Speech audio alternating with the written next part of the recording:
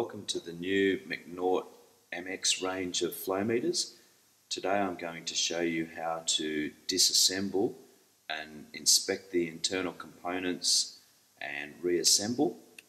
So you can see here we have three different sizes. The MX, they're all the same design but just differ in the physical size. The middle one we'll work on today and it has the compact pulse cap on it. To remove the, any of the electronics that are on this flow meter, it's called a quarter turn or the M-LOK um, system and it's just a matter of quarter turn anti-clockwise and you can easily remove the electronics.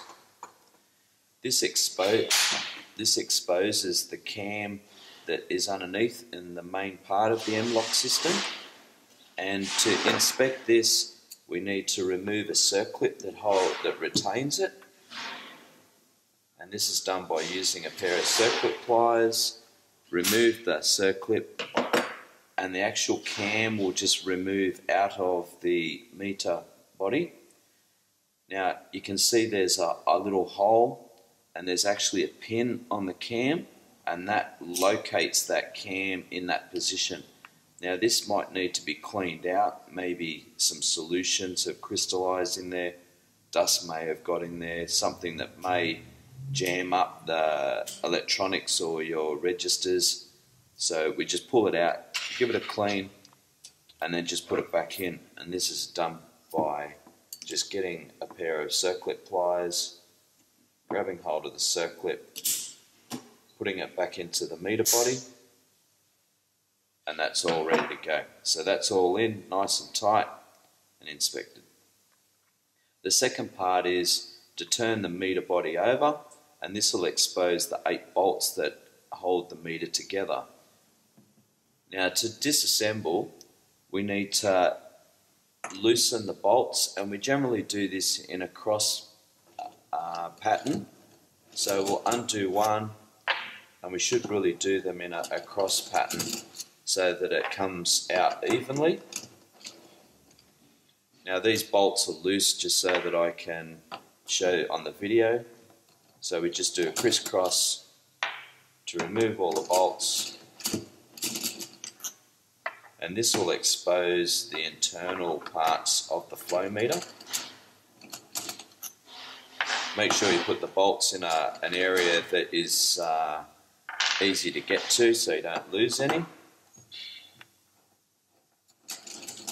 Then once those bolts are, out, this will allow us to remove the meter cap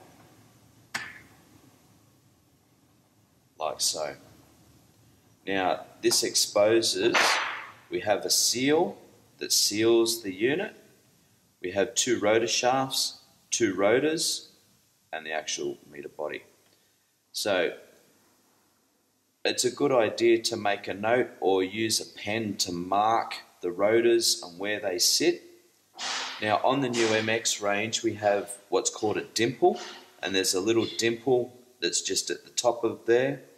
There's a little dimple that's at the top there and this signifies where the active rotor sits and the active rotor has what's called a dimple on the top of the rotor and that those three dimples must go together when we reassemble.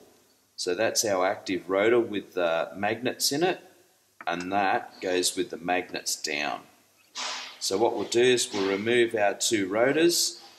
We need to physically inspect them and make sure that there's no damage at all to them. There's no missing teeth, nothing jammed in the actual rotors themselves. They all look okay. So we just put them, so I like to put them in the position that they come out. So they'll go like that.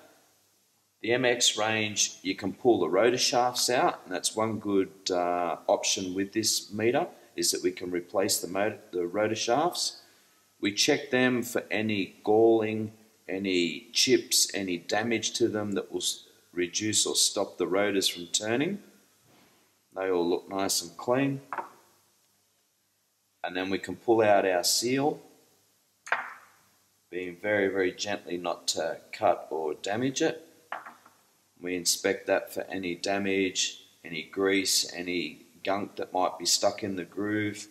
Make sure that everything's alright. It's a matter of just physically having a look to make sure that there's no sharp edges in there, that there's nothing stuck in there, no damage to the actual meter body. This one all looks okay. Now to reassemble the flow meter, we need to start by replacing the shafts into the flow meter. We put them in, make sure they're all okay. Then there are two rotor types, and we have the active and the neutral rotor. As I mentioned before, the active rotor has a dimple, the neutral rotor doesn't. The active rotor has magnets in, and the neutral rotor doesn't. So what we need to do is it goes with the magnets or the dimple down and that gets put on the top. So the dimple on the rotor, dimple on the housing, dimple on the cap. Our neutral rotor goes in the same position and then they will be able to turn nice and free. Next thing we do is we replace our seal that just sits in that groove there.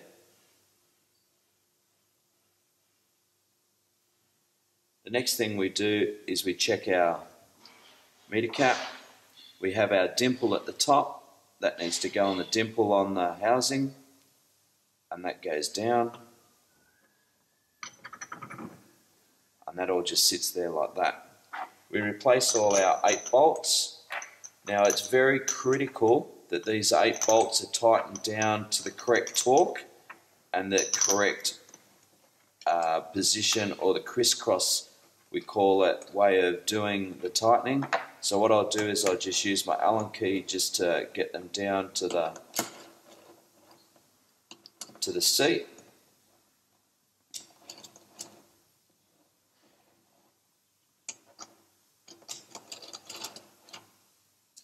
And that's just using no tension at all, just getting them down so that they sit in the bottom of the, the groove. Now it's very important that a tension wrench is used to, to torque these down to the setting that is described in the manual. Now each flow meter will have a different tension setting that the bolts will need to be torqued down to. And the torque is done by using a crisscross matter. So it will be starting at one, click, and going to the one in the opposite side. And we tighten that down until it clicks, and then we go to the cross pattern. So it's a matter of just going through to all the eight bolts in a crisscross matter until it clicks, and then click, and then we start back here. We tighten them down till they all click, click, click,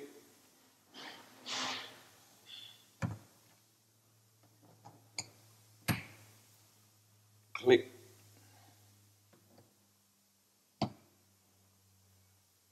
click. So that's the eight bolts all tightened down to the set torque as in the instruction manual. And then the last thing to do is to just make sure that those rotors turn nice and free, which they do. And that's by putting your finger in the inlet port and just rotate them around. Now, there is four different options of the displays or registers or the proximity that goes in them. So as with all of them, it's a quarter turn M-LOK system, and it's just a matter of put your electronics back on